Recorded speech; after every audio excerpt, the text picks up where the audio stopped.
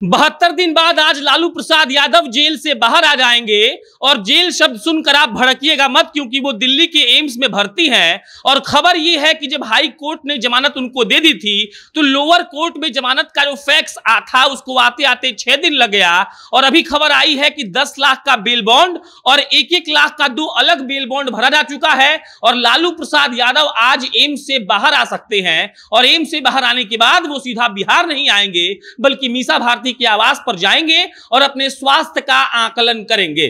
अब नमस्कार, मेरा नाम प्रशांत राय है। आप जनता जंक्शन देख रहे हैं। राजद के परिवार में जिस तरीके से घमासान मचा हुआ है, उसको लेकर ये बहुत महत्वपूर्ण माना जा रहा था कि लालू प्रसाद यादव जेल से कब बाहर आएँगे। 22 अप्रैल को ही हाई कोर्ट ने उनको जमानत दे दी थी, लेकिन आज 28 अप्रैल हो गया और आज ये खबर आई है कि लालू प्रसाद यादव आज एम्स से छूट जाएँगे।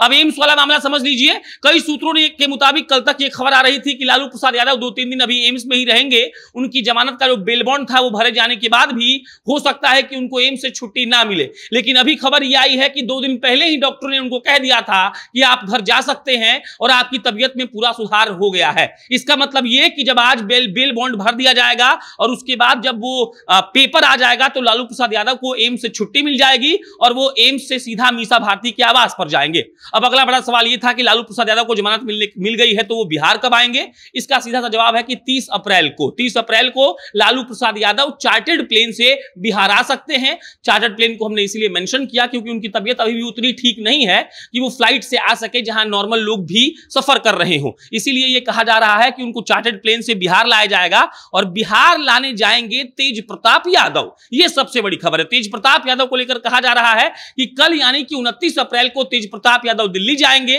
उनतीस अप्रैल को कब जाएँगे? सुबह शाम या फिर कब उनका उनका प्लान है ये अभी पूरी तरीके से साफ़ नहीं हुआ है, लेकिन एक विशेष सूत्र ने हमें यह बताया कि तेज प्रताप यादव बस इस बात का इंतज़ार कर रहे हैं कि उनके पिता जेल से बाहर निकले और उसके बाद तेज प्रताप यादव, लालू प्रसाद यादव के पास जाए और उनको सारी बातों से अवगत कराए कि उनकी पार्टी में क्या चल रहा है।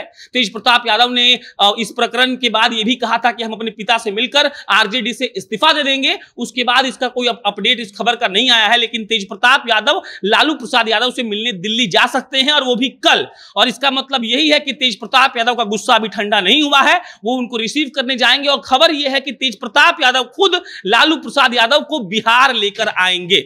आपको बता दें कि डोरंडा कोषागार मामले का जो झारखंड का आखिरी मामला था, एक करोड़ रुपए के निकासी का मामला था, जिसमें कोर्ट ने उनको सजा सुनाई थी और बहत्तर दिनों के बाद लालू प्रसाद यादव आज जेल से बाहर आएँगे। बाईस अप्रैल को ही उनकी जमानत मिल गई थी और जो जमानत जज साहब ने दिया था, वो उन्होंने ये कहा था कि लालू प्रसाद यादव ने अपनी सजा आधी से ज़्यादा काट चुके हैं वो और इसीलिए उनको जमानत दी जाएगी। सीबीआई की तरफ़ से ये दलील दी गई थी कि ऐसा नहीं है, क्योंकि लालू प्रसाद यादव ने इस सजा का आधा अवधि पूरा नहीं किया है, इसलिए उनको जमानत नहीं मिलना चाहिए। लेकिन दस लाख के बेल बॉन्ड भरने के बाद और एक एक लाख का दो और बेल बॉन्ड भरने के बाद लालू प्रसाद यादव को आज कोर्ट छोड़ देगी। रांची के हाई कोर्ट का जो ये फैसला था, वो लोअर कोर्ट में आते आते छह दिन लग गया। इसीलिए अब तक लालू प्रसाद यादव एम्स में ही भर्ती थे और खबर यह है कि आज शाम तक लालू प्रसाद यादव जेल से बाहर आएँगे और तीस अप्रैल को वो बिहार में आ सकते हैं। लालू प्रसाद यादव के आने के बाद जो सबसे बड़ी खबर है, वो यही है कि अब तेज प्रताप तेजस्वी यादव संजय यादव एमएलसी सुनील सिंह और जगदानंद सिंह का जो प्रकरण चल रहा है, जिसके प्रोटागोनिस्ट हैं तेज प्रताप यादव,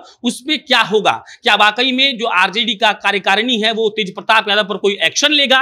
या लालू अपने बेटे को मना लेंगे और सब कुछ मैनेज कर लेंगे? जगदानंद सिंह ने अपना हाथ पहले ही खड़ा कर दिया, ये बोलकर कि हम उन पर कोई एक्शन नहीं ले सकते हैं।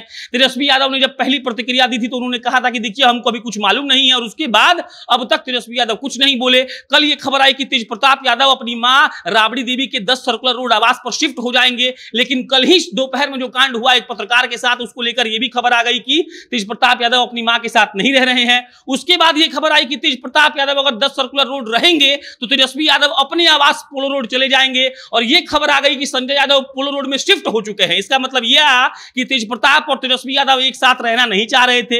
इन सारे घमासान के बीच लालू प्रसाद यादव का बाहर आना बेहद ज़रूरी था। और अब जब लालू प्रसाद यादव की खबर आ चुकी है कि वो बाहर आएँगे तो देखना यह दिलचस्प होगा कि लालू प्रसाद यादव के बाहर आने के बाद क्या होता है? क्या लालू प्रसाद यादव अपने दोनों बेटों के बीच में सुलह करवा देंगे? क्या यह लड़ाई सत्ता के लिए है, पद के लिए है? और इसके बाद यह भी क्लियर होना बहुत ज़रूरी है कि आखिर तेज प्रताप यादव आरजेडी से इस्तीफा देंगे क्या? क्योंकि कहा जा रहा है कि तेज प्रताप यादव अपने पिता को रिसीव करने के लिए कल दिल्ली जाएँगे और दिल्ली जाकर वो पूरा कहानी बताएँगे कि आखिर उनको किन किन से दिक्कत है और कौन कौन उनके राह के रोड़े बन रहे हैं। तो इस पर अन्य कोई अपडेट आएगा तो आपको हम बताएँगे। मेरा नाम प्रशांत राय है। आप जनता जंक्शन देख रहे थे। बहुत बहुत धन्यवाद।